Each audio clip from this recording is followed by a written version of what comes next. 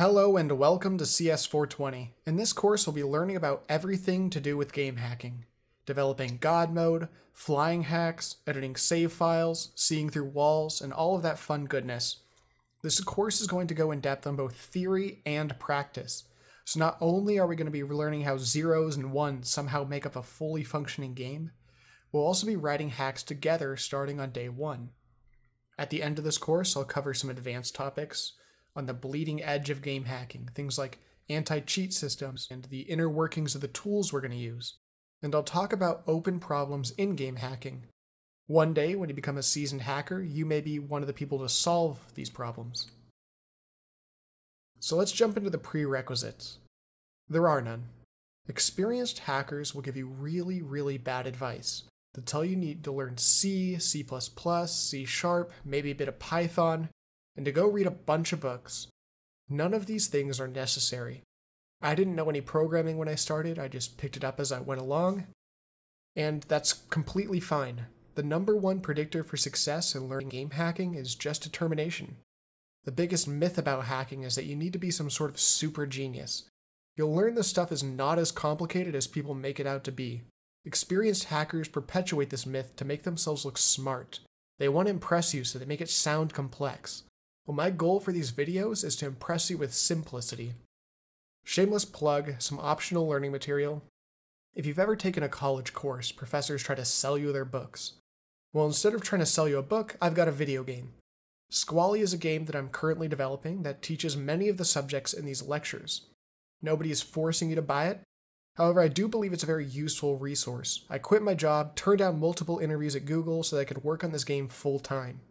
If you're watching this in 2019, the game is still in early access and the content is somewhat limited. But if you're watching this in the future, then congratulations, the game is probably done and you should check it out. There's a link to this game in the description, and I'll cover it a bit more later. Many of the examples in these lectures will come from this game because I own the rights to it, so there's no risk of YouTube taking down my content. Now I'm going to go over all of the skills that we're going to learn. If I say something and it doesn't make sense to you, don't worry. There will be specific lectures on each of these topics, and I'll be able to go more in depth in those videos. Memory editing is the most important skill in game hacking. It's used for almost everything you can imagine God mode, money, teleportation. This is where most of our attention will be focused. The next skill is assembly editing.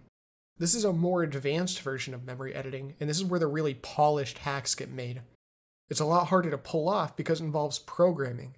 You need to learn how to read and write assembly language, but the payoff is far greater than just memory editing. The difference is subtle but important, so let's take an example. Let's say you have 100 maximum health in a video game. With memory editing, if you want God mode, you basically have to keep filling your health to 100. If it goes down, fill it up.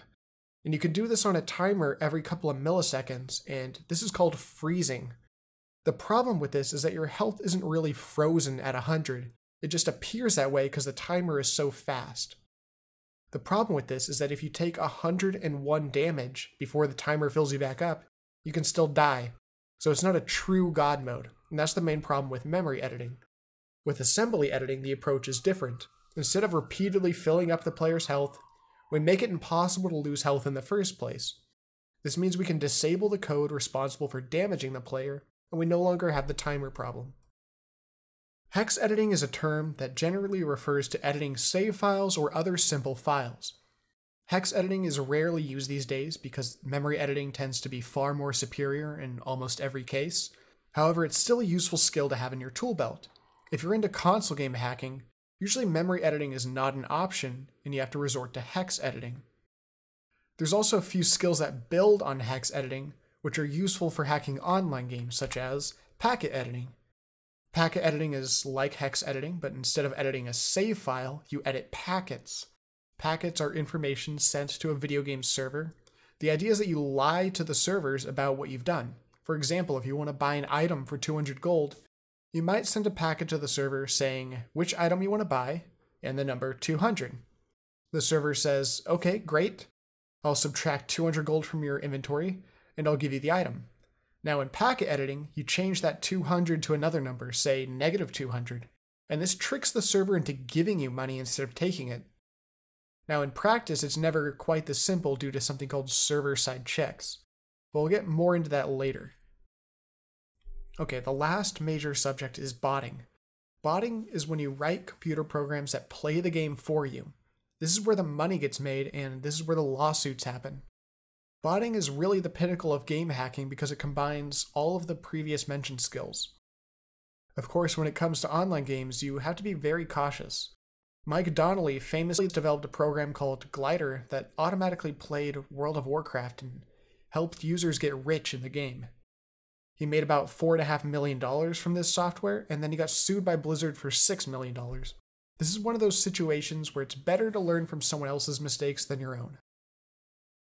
These are some additional topics that may get covered. These can be very useful in specific situations or just to help broaden your understanding, but generally aren't applicable to every game. The previous skills apply to any game, but these really apply to very, very niche situations but they're still good to know. So the skills mentioned earlier are techniques, but in order to use these techniques, you need to understand the underlying computer science. Just to draw an analogy, you can be a blacksmith, but you also want to know metallurgy. If you want to make a sword, you need to know what metal to use. You want that sword to be durable, you want it to be sturdy. You can get pretty far without knowing that stuff if you're an apprentice blacksmith, because you can just ask your, your boss, hey, what, what metal do I use for this sword? And then they'll tell you.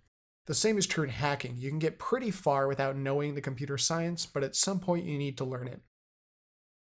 Throughout these lectures, I'll be switching back and forth between theory and practice so that you can gain an understanding of both how to perform the hacks and how the hacks actually work. Let's jump into this diagram briefly. As a game hacker, we're far more concerned with the stuff on the left under program anatomy and under numbers. Now, if you get into online game hacking, that's when you'll dabble into the network side of things and you'll have to learn a bit about packets. Uh, we won't go into into cryptography because it just doesn't come up very often in game hacking.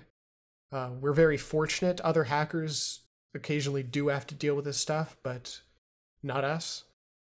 And we will cover a little bit in hardware, mostly related to the CPU. By the end of this series, you'll have a deep understanding of how programs are run on a computer and how to make them do what you want them to do. Before we get into specifics, let's go over the universal process for hacking games.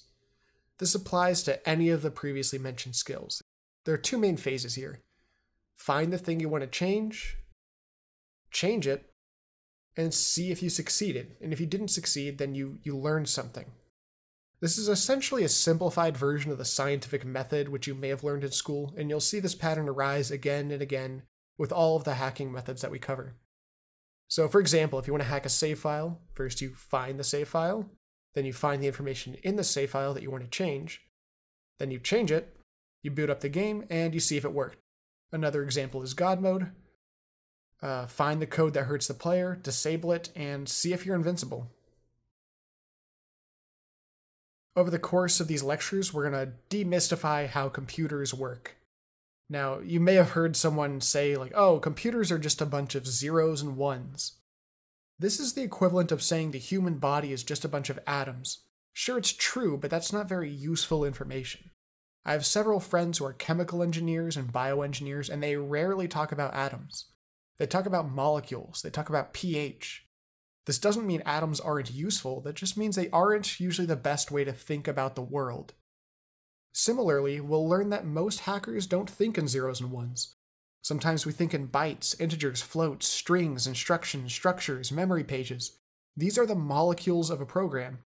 These allow us to think about complex ideas without losing our minds.